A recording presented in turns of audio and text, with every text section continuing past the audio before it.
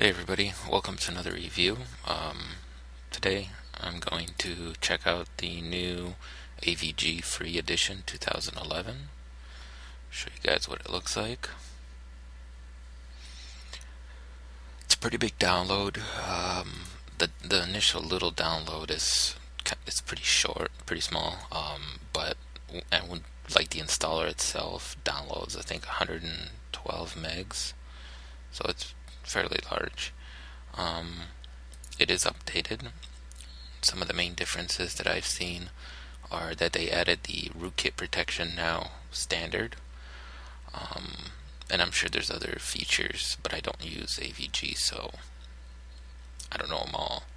But I'm sure they, they've changed some different things, and of course they changed the way it looks and all that fun stuff. So, uh, they've also added this little deal here. Um, their little tab thing here. I don't know, that's just pointless in my opinion. It's just something else that takes up uh, memory. So, I got, I think, 15 links, something like that, that we can uh, test with.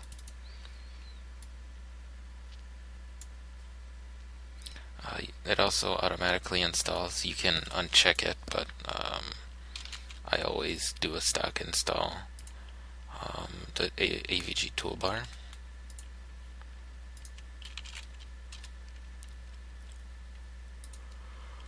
So this is the first link, and it looks like it. Uh,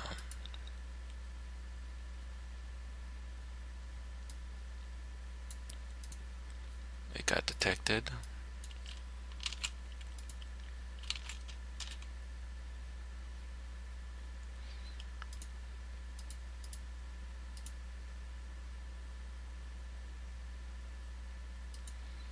Trying to do this uh, remover thing here. Apparently it couldn't remove it easily, so we'll see what happens. We'll let that run in the background.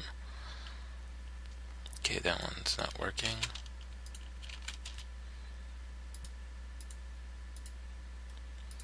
Okay, it looks like I caught that one.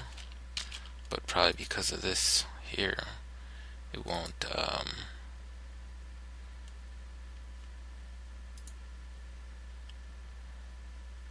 Let me see what happens if I close up Internet Explorer. Oh, okay.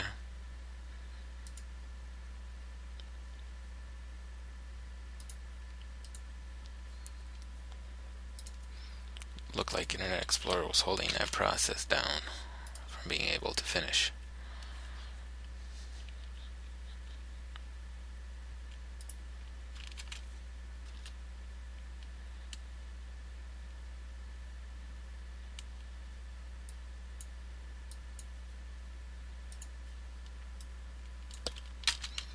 Looks like that one's not working.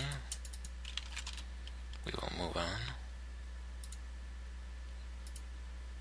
Okay, looks like I found that one. Potentially a wanted application.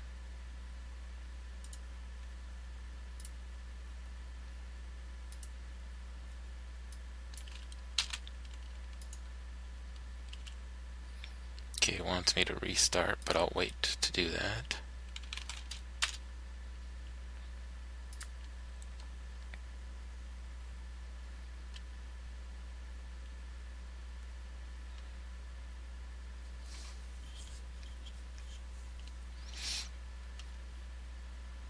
Okay, found that one.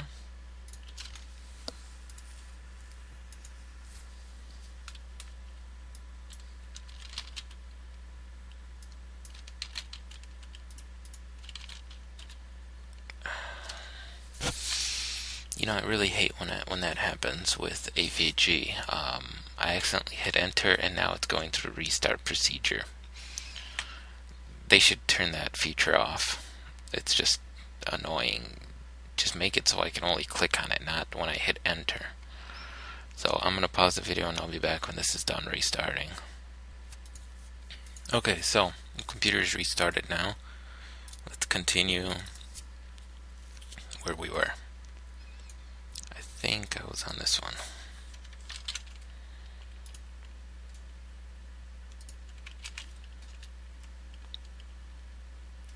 And that one's not working.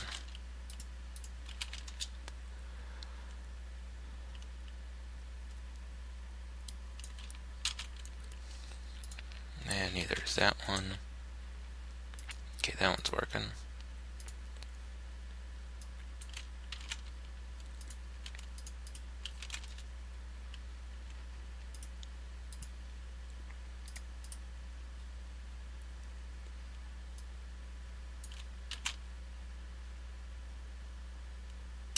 Okay.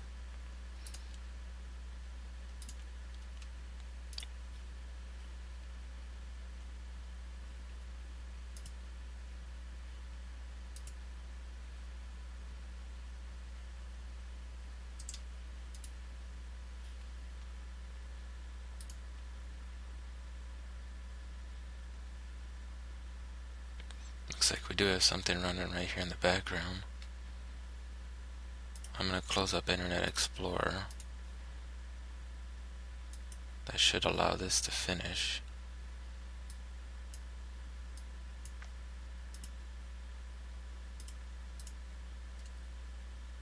Yeah, maybe. Oh.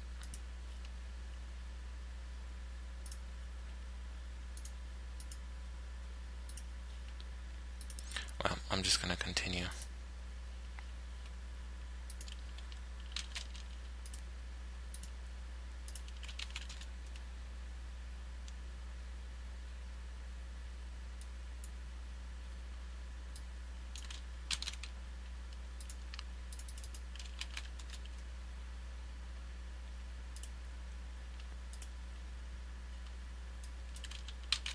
Okay, that one's a fairly large download.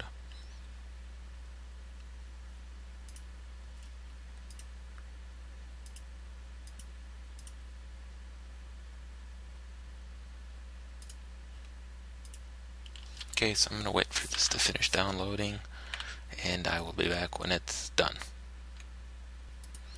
Okay, so this download is just finishing now. This is still going on in the background all by itself.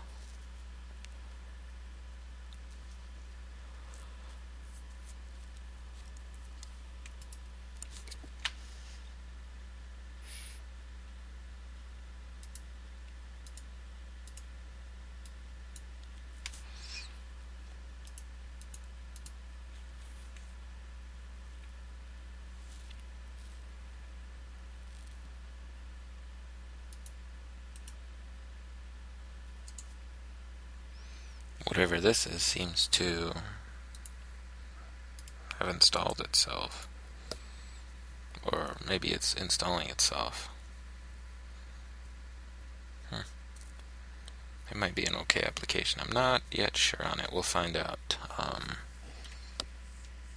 exactly how good it is. So, I am going to restart now because this is kind of stuck. So, I'm going to restart and then I'm going to do a full scan with AVG and I will be back with the results of the full scan when it's done. So I'll see you then.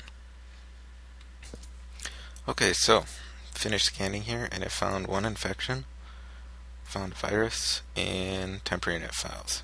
So it got rid of it. So what I'm going to do now is I'm going to grab uh, testing tools.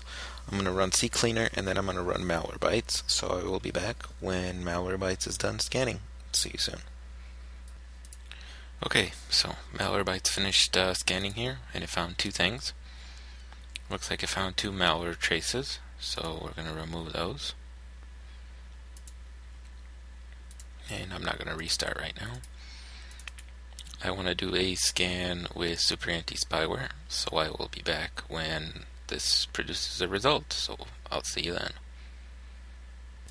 Alright, so, um, looks like um, super anti-spyware finished scanning here, and it didn't find anything. So last but not least, I'm going to do a scan with Hitman Pro, and I will be back when uh, this is done scanning. See you then. Okay, so um, Hitman Pro just finished scanning here. This is just my uh, super anti-spyware one. Uh, but it did find two uh, Trojans, one in the Windows folder, one in the system, well, um, 32 folder, and they looked like they were like, how could you call it, um, replacement files that got um, put into these. So basically, this file is normally protected by um, Windows file protection, and to fix it, it has to delete this file and replace it with an original one. So these two are kind of concerning. Um, they're not just regular um, malware or Trojan files that are on there. Um, so that's kind of interesting to see. Uh, other than those and those couple of malware traces, didn't do too bad. Um, I personally never used. i have never liked AVG, um, but if you got if you like it, I guess it's um, good for what you could use it for. Um, I think there's other solutions out there that are more comprehensive and uh, provide you better security. Then, like I said, the nice thing is they finally put anti-rootkit in the free version. So that's one nice thing. So, um, other than that, really, there's not much more to talk about on this. Um, let's see. It's I think I don't know if I showed you already what kind of memory usage we got here. But um, the one thing I think they should have done is try to put some of these processes into like one or two. I hate programs that just start have like 10 processes. This has yeah, 10 I think. Yeah, it's got 10 processes. That's just even if they're not taking a lot of memory, I don't like to have that many things in there. They could have done it a different way. That's alright. Um, memory usage, not that bad. You're looking at what, 15 megs, 15 to 20 megs right around there, so that's pretty good. Um, didn't feel it to be real heavy on the computer, so that's not a problem. The only thing is if you use AVG, you probably want to have um, something for zero day, because this is basically a signature um, type antivirus. Um, it does have a little bit of stuff here and there. Um, but I definitely look at maybe something for zero day and definitely some kind of uh, firewall to augment with this. So, hope you guys enjoyed this review. I'm gonna it up on the net right now, and uh, I'll talk to everybody later. Take care.